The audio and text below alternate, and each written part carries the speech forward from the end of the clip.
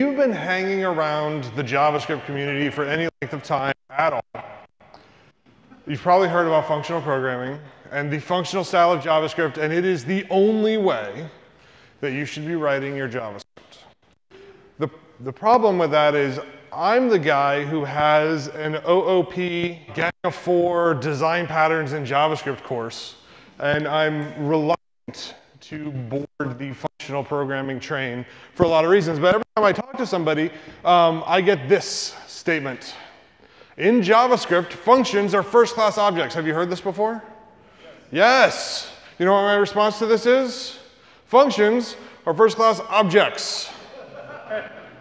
It's right there in the phrase, right? So, so there's a lot of benefits here, but we're not pure OO. I know you can throw tomatoes at me later, but prototypal inheritance, all that stuff. But I like the object-oriented stuff, and, and so I kind of had to get on board with this idea. So the first thing I, I want to do, just real quick, is let's set the groundwork for what is functional programming. And the best source, always, to find definitions for anything is Wikipedia. Okay, so Wikipedia says this in computer science, functional programming is a programming paradigm. We're all on the same page. Okay. Um, a style of building the structure and elements of computer programs, totally still cool, right up until we get to this, that treats computations as the evaluation of mathematical functions. So, um, I, I was a math major in college. End of my freshman year, I took uh, Cal 3, and then I switched over to computer science because I don't like math. I, it's just so right there, I'm not happy. Um, but it ends with this statement, and if you've been doing JavaScript for any length of time, uh, and avoids changing state and mutable data. Um, in JavaScript, like, we can't even keep our types the same, let alone the data involved in the variables. So it just, it doesn't work to me. So, so this is why the, the talk is called functional style. So functional programming in JavaScript is not a thing, right? Functional programming in Erlang or you know, Haskell, or, yeah, that's fine. Functional programming in JavaScript doesn't exist. But we can apply a functional style that might help us get a little better. What's interesting is every time I talk to people about this, oh, wait, hold on. So Martin uh, who created Scala said this, the programmers in that segment like functional programming because it makes code clearer, better structured, and prevents many class of, classes of errors. The interesting thing about this last phrase, prevents many classes of errors, is because functional programming languages have what is called a compiler. That if you're doing things you shouldn't be able to do, it actually says stop it. JavaScript does not do that. Um, if you change something that's immutable in JavaScript, it just changes it. It doesn't care. Uh, it just works. So every time I talk to a functional programmer or a functional style JavaScript programmer, I get this phrase. And you even heard it in the introduction, right? Pure functions are awesome. My question is always back, why? And, and I was having lunch with a guy in, in Kansas City, and his phrase was, because they're pure. I mean, how can you argue with that? Right? Pure functions are beautiful. I mean, when you can get a function to be pure, it's like this magical thing. Okay. Um, side effects are evil. How many of you want to interact in I.O. in any way? right. You obviously do. So that's a side effect. Right? I would contend that interacting with the I.O. is not an evil thing. Um, and I'm not alone. Um, the problem is a lot of people, they talk about how awesome functional programming is, but they can't articulate why. But I had a conversation not too long ago with this guy. So if, if you're going to tweet at any point, tweet at Nate Taylor and say, hey, at Nate Taylor, thanks for straightening Jon out. Uh, I had a, he's a he's a Elixir guy, and we were talking about functional programming, and and he's like, "Yeah, you're thinking about this too hard," which I found very interesting because the bit flipped for me in a very interesting way um, when I started thinking about this. So think about this for just a second. You cannot avoid side effects. Period. You can't because you have to interact with I.O., right? You've got to do some things. Not all functions are pure. Because if you can't avoid side effects, not all your functions can be pure. And not everything has to be immutable. However, functional style, this, was, this is what he said that, that changed fundamentally my understanding of this. Functional style is about using less brain power and making things simpler. Is that your understanding of functional style programming? Like coming into this talk? What if I said you have to think less and things are easier? Like that is not, that doesn't go with what we've been told, right? But I am telling as the guy who hates functional programming because I'm an OOP guy, this clicked for me. I'm going to give you some examples of why, but, but here's the thought. Functional style is about small, composable things that fit together. A lot of times, oh, let's go back. A style of building the structure and elements of computer programming. More importantly, the style of building the elements. We're going to talk about how we build elements in a functional style that fit in the overall big picture. As OOP developer, I think of system, right? You've got system thinking, you're trying to think of the whole big thing, and then you think about what your objects are, you think about how your objects interact. You think about all of these different things, and you're thinking about the big picture. What sometimes we forget about and we don't stop and think about very clearly is the little picture.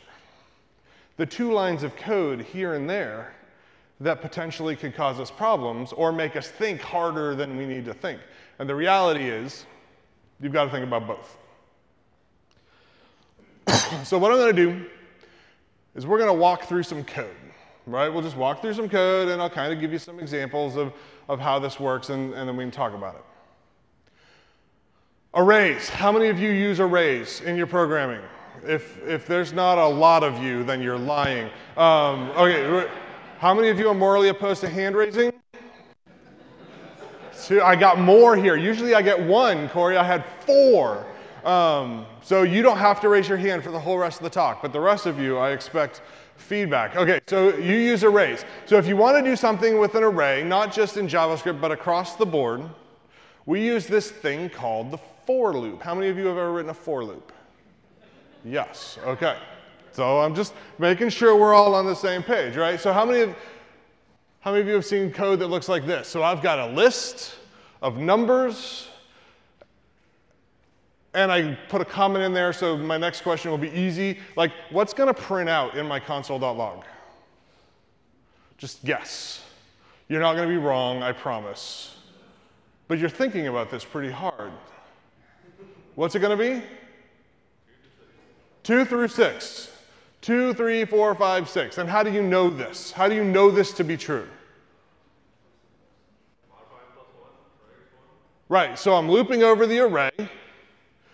For each item in the list, I'm adding one to it, and you can just read the comment if you really want to. Um, and then console.log list, and I have this. The interesting thing about this, or, or this is a very simplified example of things that become very complicated very quickly, but so the, the idea here, though, is you've got two things you're trying to pay attention to right here. The two things you're trying to pay attention to right here are this, the iteration code.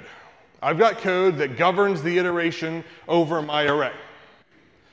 And then I have code that governs what I'm doing with my array. So I've, I've got these two things that are very tightly coupled. I've got iteration code and I've got worker code.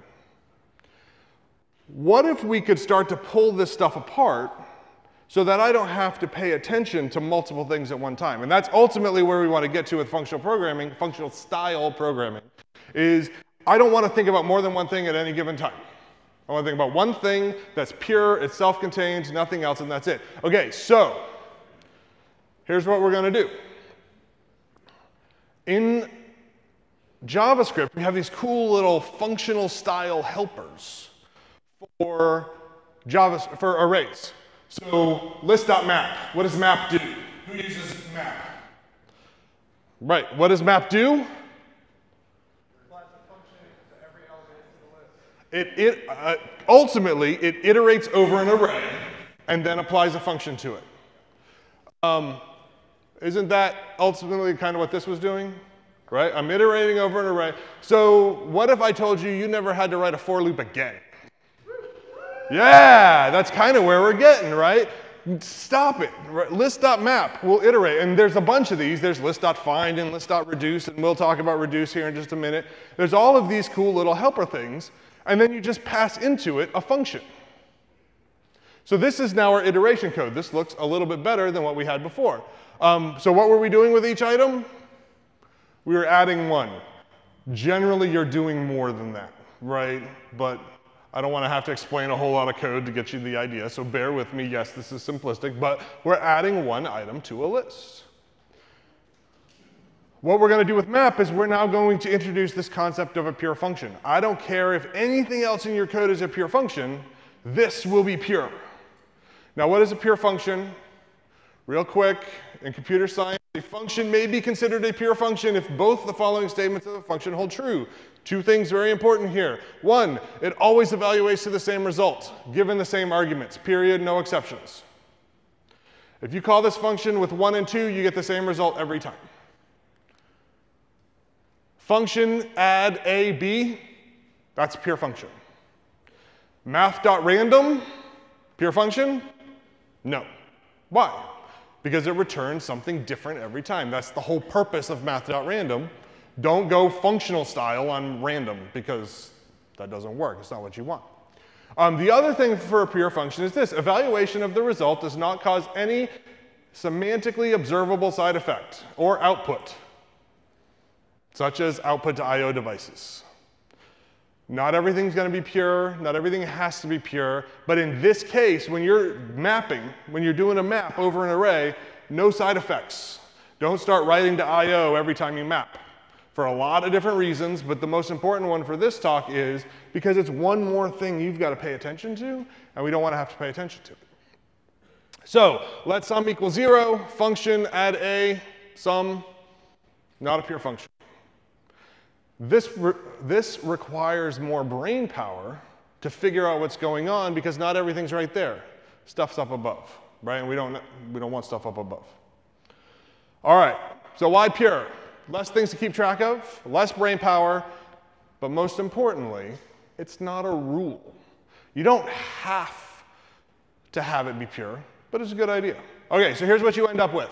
I have a pure function, item, return item plus one. Is that a pure function? Yes. Is it clear what's going on?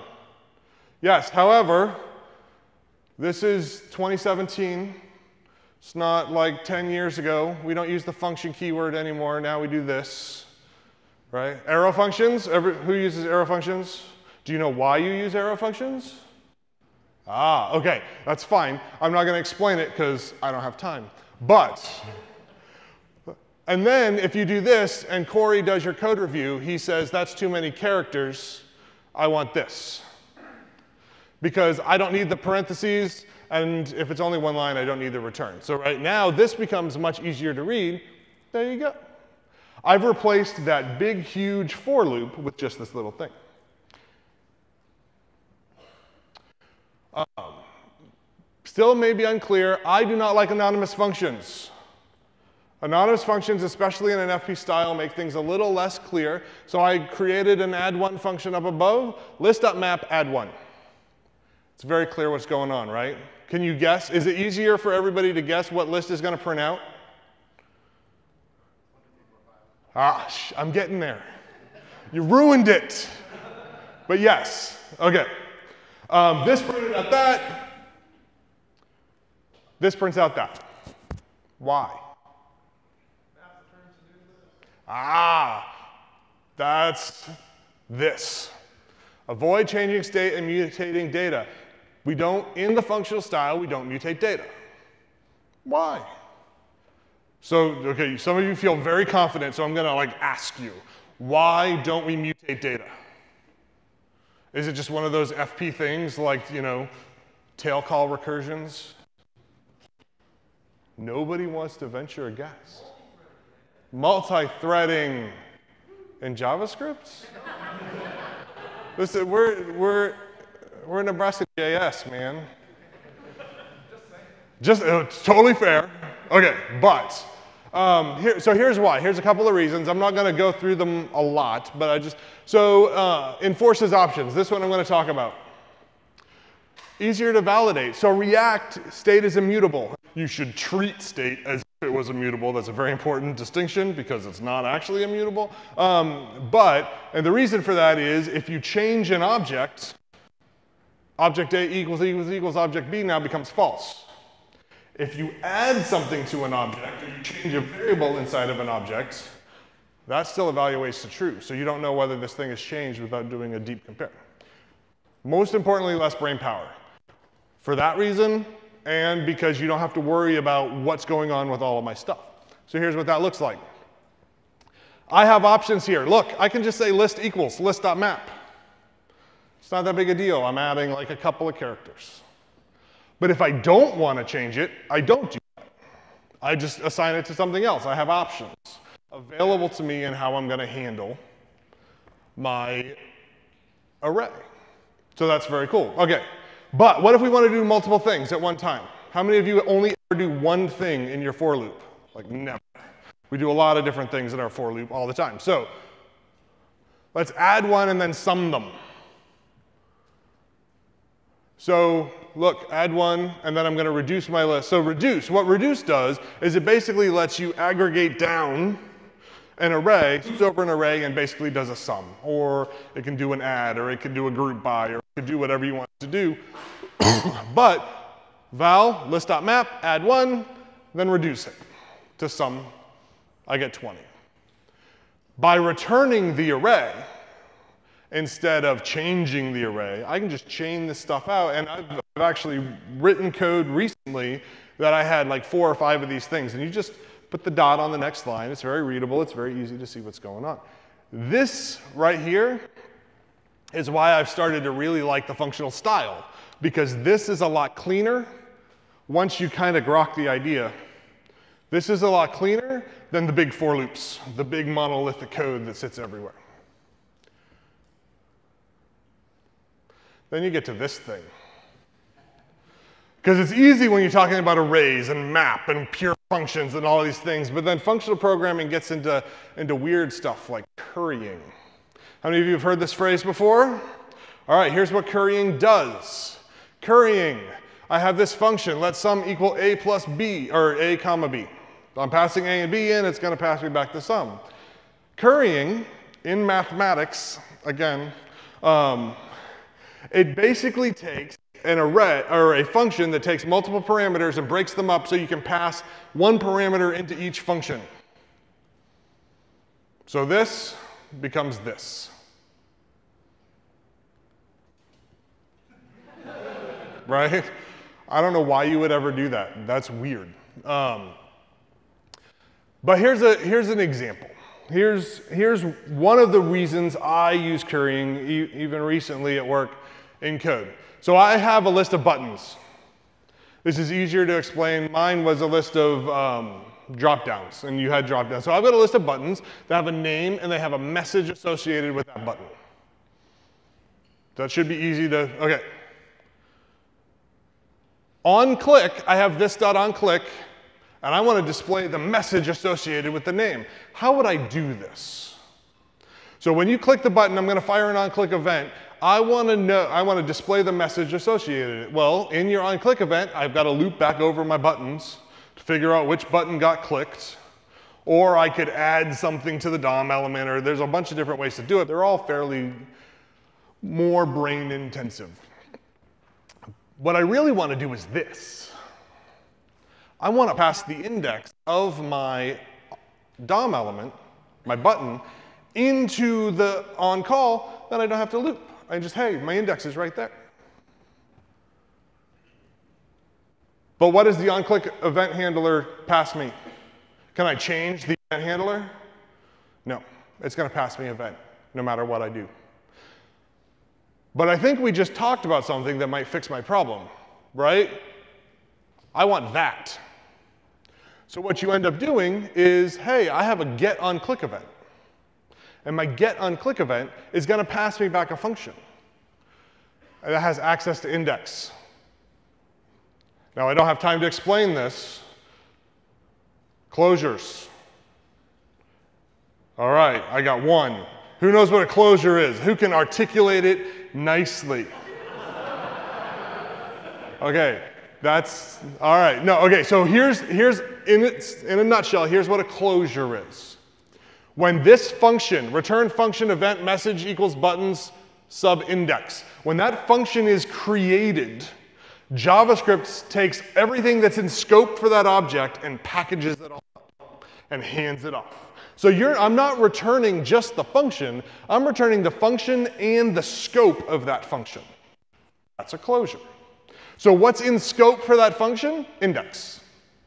So index comes back as part of it. Okay, so that's, that probably didn't help you at all, but that's my explanation of what closures are. Um, so now, on that on click event, I'm creating a new function. You can get into performance conversations. I don't care. This is easier, so this is what I'm doing. Um, creating a new function. Now every time I click the button, I get exactly what I want. All right, so here's what I want to leave you with because I'm right at time. I want to leave you with this idea that don't, when you start writing functional style, don't take a, a React app and say, I need to convert this entire application to the functional style. I need to kill everything that I have, and now everything has to be immutable, everything has to be pure functions, because it's, it's not possible. You can't write a web application in JavaScript that's purely functional. What you can do is start taking these little building blocks of your code and start applying this, this functional style. And I've given you just enough to, to make you potentially interested so you can go look at it. Um, there's a, to clean up little pieces.